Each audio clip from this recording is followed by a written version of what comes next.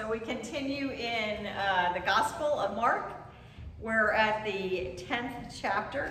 It may sound familiar to you. I know it was to me. Um, so what we have is Jesus walking along the way, encountering people, and it being recorded. And so, again, I always think we have such a small portion of what actually happened. And, and I think that the gospel writer wanted to be representative of those who ask questions. So my guess is this is not the only person who ever asked Jesus um, what to do to inherit eternal life, but it's the one that's recorded.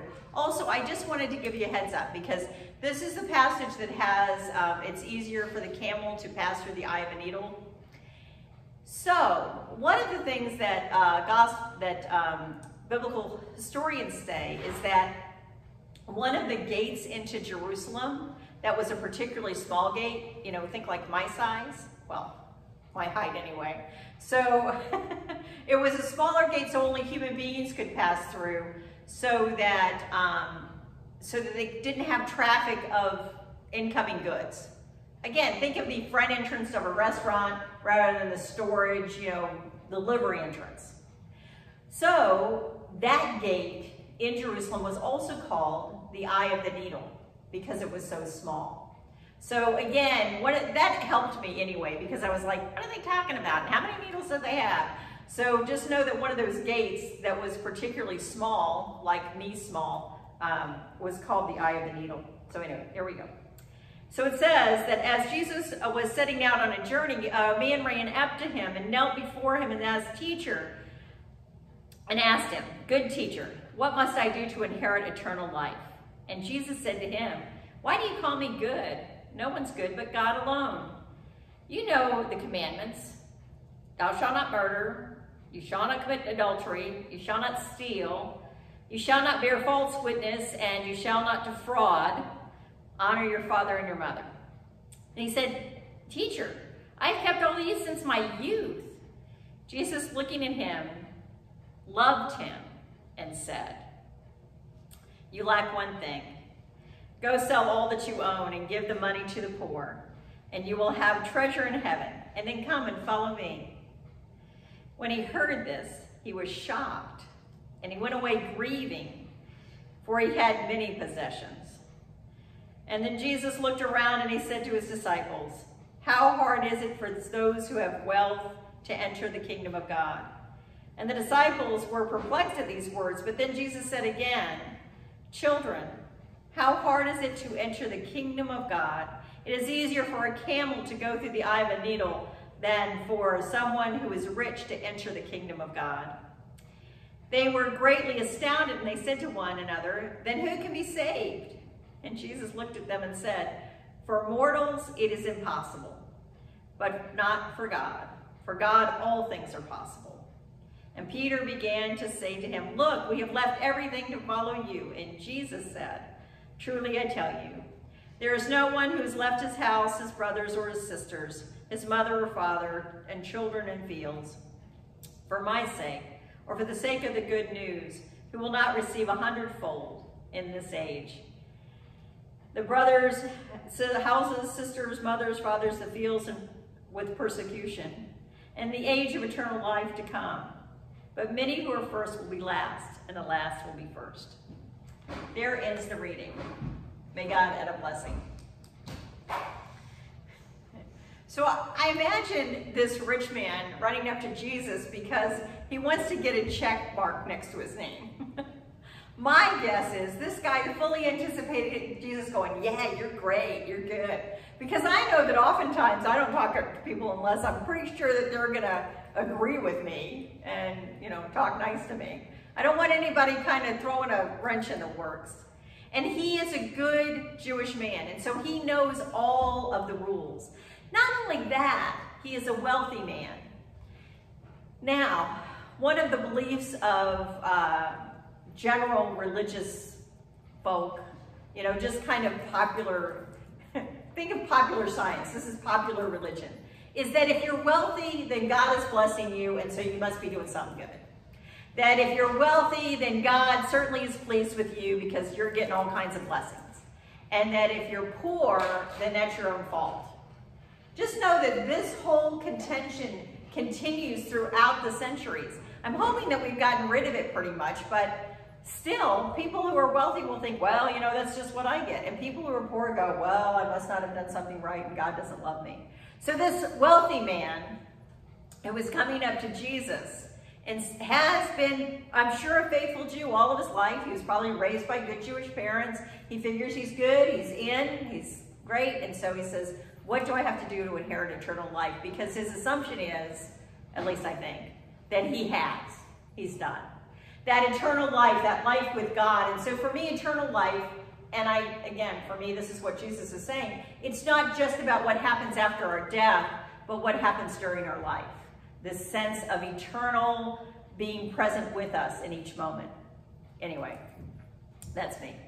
Um, so the guy is like, I'm good to go. I'll talk to the latest moral teacher who's around. He's getting lots of cred out there. You know, he's, he's definitely top of the charts. And uh, he figures he's good. And one of my favorite lines in this text, although the whole, you know, anything is possible with God is good too, but one of my favorite lines is Jesus looking at him and loving him. For me, that's always a sense of who God is. That God looks into our hearts, looks into our souls, looks into who we are, and loves us. Loves us more fiercely than we can even imagine. Loves us tenderly and completely as any of us loves a child. Loves us. And as he loves this man, he sees the thing that holds him captive. And what holds him captive is his stuff, his wealth. He's protected by all of that. And so Jesus says to him, okay, you're doing good. One more thing. Yeah. I'm sure won't be a problem. No, he doesn't say that. He says, one more thing. Give everything that you have. Sell all your possessions and follow me. And of course, he has not only the 12 disciples, but apparently there's record of about 70 people also who follow him, who follow. So this isn't unusual. And he's just, that's, that's beyond his imagining, to let go of his stuff. But if I said to any of you, sure, God loves you. So what she's asking is, you sell your house today. The market's great. you sell your house, you give it all to the poor, and then you go on mission. Nobody's going to go, yeah, Mary, that sounds like a great plan. Let's all do it together. and for me, that's okay. For me, the point is that Jesus is trying to point to the thing that holds him in front of, not holds him, but holds him away from God's complete love. That that love cannot break through the barrier of his security that he's created with his wealth and with his possessions. And I think in many ways our culture is there most of the time, that we had our lives with all of our stuff. And that oftentimes it's hard for us to sense God's love for us, see the provision of his blessings for us, see all that God is doing for us each day because our wealth protects us and our love ends up being diluted into a thousand things. Here's the story. Because I always feel like I'm going, where am I going? The thing is, is that you guys are here, and so you're my choir, you know, you're the ones who have made it here this morning, and that took prioritizing getting here. That just didn't happen because that bed is awfully soft, particularly at 8 o'clock in the morning, particularly when you don't have to work that day. And y'all made it here. And I know that, you know, again, during the time that I was raising boys, there was a family who my uh, boys used to hang out with, and they were all about soccer. They were all about soccer. And so one afternoon, I had, um, I was watching a game that both of our boys were playing in, and I was standing next to the woman, and she says, yeah, I haven't made it to church, really, gosh, you know, since August. And of course, it's getting close to November now. You know, soccer. Well, I've been here at the soccer field. I'm afraid to say my response was, well, we always go to our sanctuaries to worship. because what she wanted me to say was, of course, you know, I understand. But what I felt like saying was, you know, there's other leagues that you can be in that don't do Sunday morning. But for her, that was the trade. And again, sounds very judgmenty. I don't mean to be judgmenty, but we do, we trade all kinds of things. And I always believe it's very easier for me to see the speck in somebody else's eye than my log. But I do know that for me, being at church on Sunday morning is life-giving. It's the place where I get things back in balance. I think that's what Jesus is trying to say to this man, is all the stuff can skew you out of balance until you think the purpose of your life is that stuff or that wealth or whatever is, those kids, that job, that car, more than God. More than God who loves us. More than God who brings us life. More than God who brings us eternal life.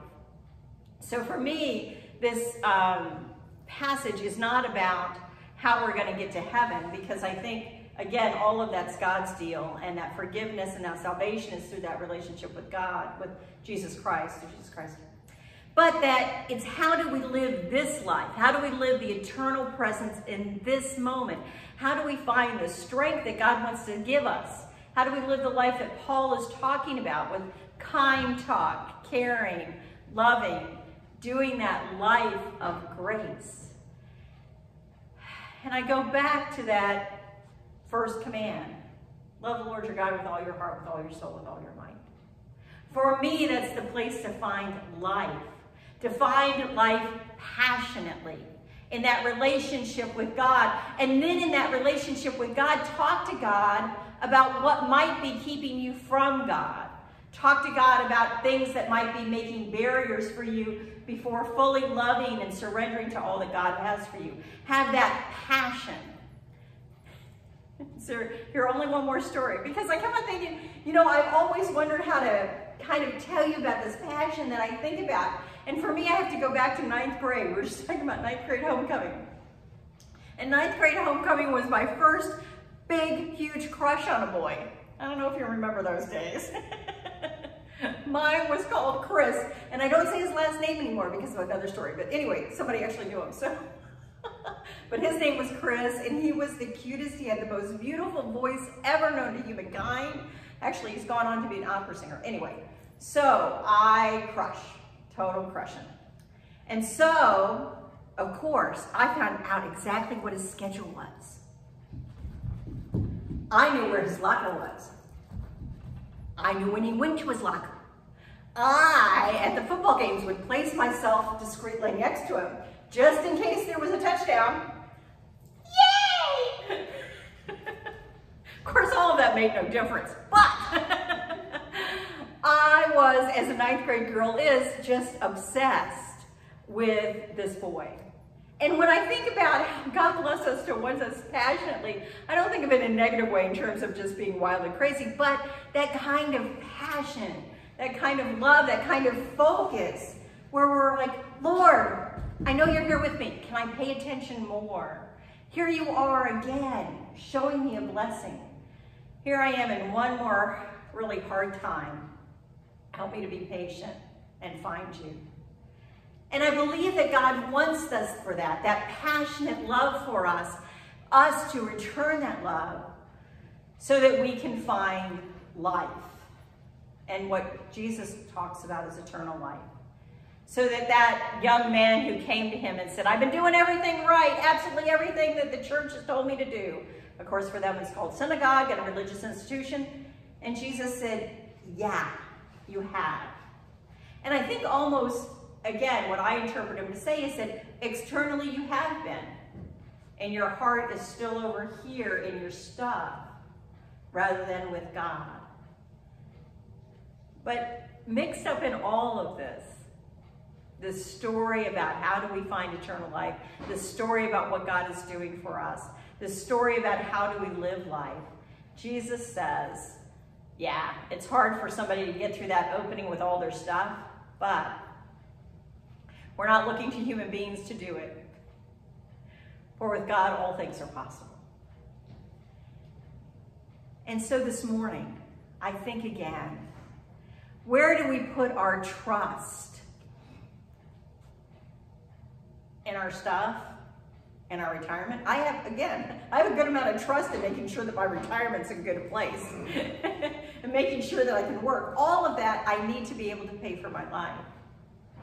But the ground of my being, my trust in being able to make it from one day to the next as a sane person in this world, that's fully relying on God. Knowing the phrases that I can come back to God when life is hard, Yesterday, I, I said I wouldn't be doing one more story. Sorry about this. I, yesterday, I tried to give blood. All right. They went in both arms. Oh. Never got any blood. and the whole time, this hour and a half, I'm like, seek ye first the kingdom of God. Seek ye first the kingdom of God. Again, that to me is what the gift of this passage is about.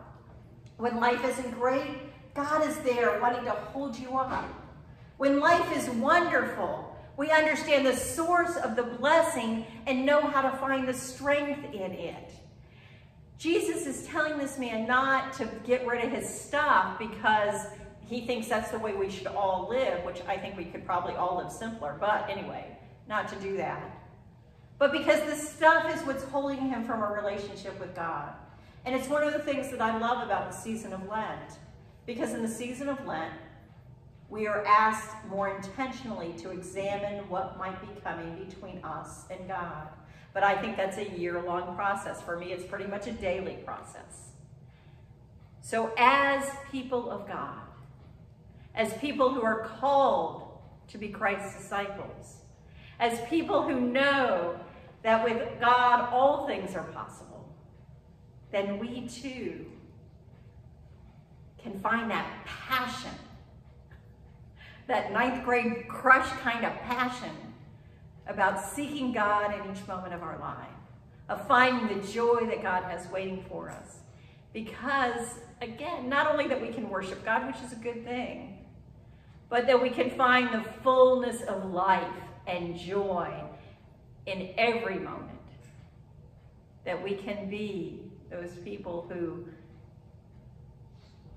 beckon others to a life of forgiveness, healing, and wholeness found within the love of God who loves us so much. Amen.